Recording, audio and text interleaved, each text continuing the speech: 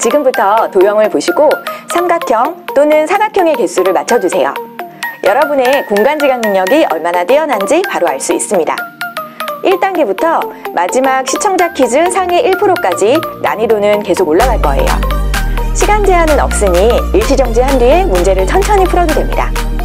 여러분은 과연 몇 단계, 상위 몇 프로까지 통과할 수 있을까요? 한번 확인해 보세요.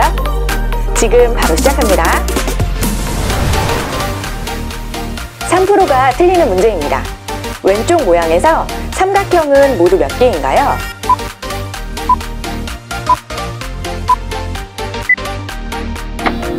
정답은 5개입니다.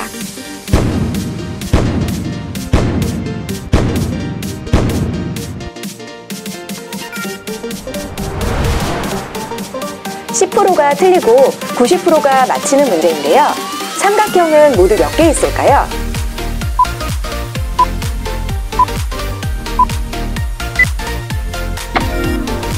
정답은 7개입니다.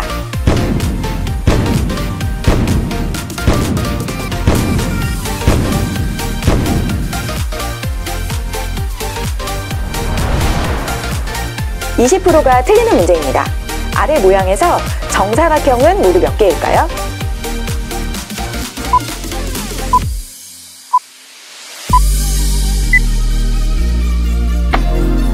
정답은 7개였습니다.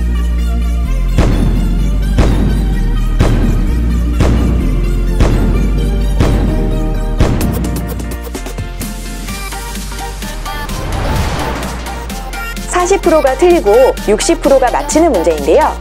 왼쪽 모양에서 삼각형은 모두 몇 개인가요?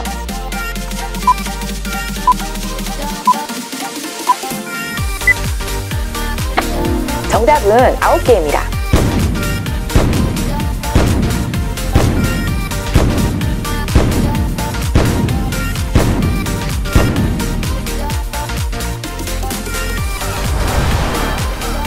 (50%가) 틀리는 문제입니다. 삼각형은 모두 몇 개 있을까요?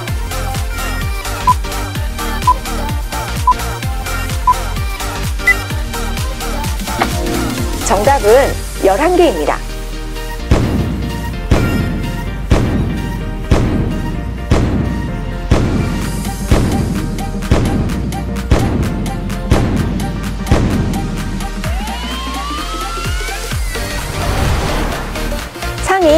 상위 30%의 사람들이 맞히는 문제입니다. 아래 모양에서 삼각형은 모두 몇 개인가요?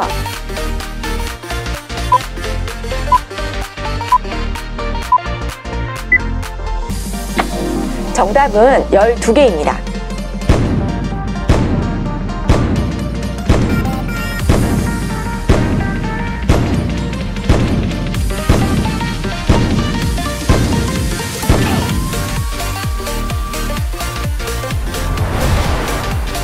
(80%가) 틀리는 상위 (20%를) 위한 문제입니다.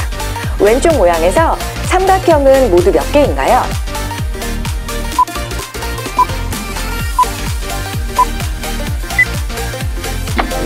정답은 11개입니다.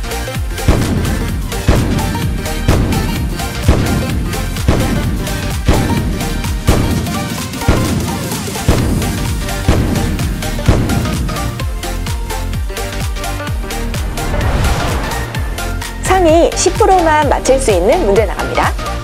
삼각형은 모두 몇 개인가요?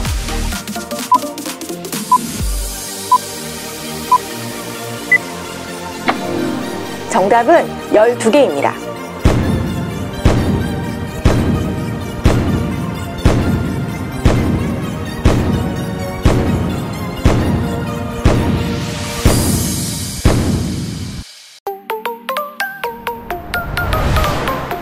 (95%가) 틀리는 상위 (5%를) 위한 문제입니다. 왼쪽 모양에서 삼각형은 모두 몇 개 있을까요?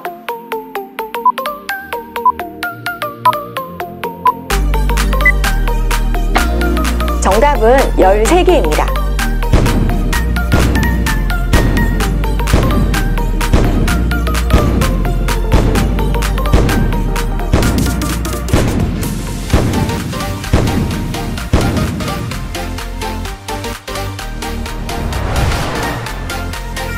2% 99%만 맞힐 수 있는 문제인데요. 아래 모양에서 삼각형은 모두 몇 개일까요?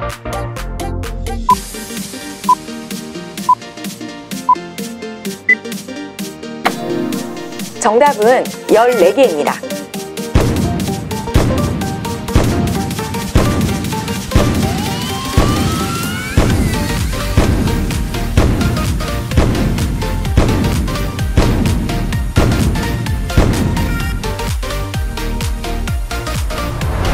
자, 다음은 99%가 틀리는 상위 1%를 위한 시청자 퀴즈입니다.